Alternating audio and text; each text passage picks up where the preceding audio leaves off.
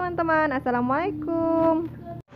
Hari ini Bunda mau bikin sambal colo-colo ya. Cocok banget buat dimakan dengan ikan bakar ataupun ikan goreng ya teman-teman. Pokoknya mantep deh, bahan-bahannya juga gampang Dan ini tanpa dimasak ya teman-teman. Dan ini dia bahan-bahannya ya. Ada daun kemangi secukupnya ya teman-teman ada e, bawang merah dan juga tomat ada juga jeruk dan ini ada cabai sebanyaknya biar pedis ya. Dan ini dia kecapnya untuk pelengkapnya. Nanti juga ada e, garam dan penyedap rasa ya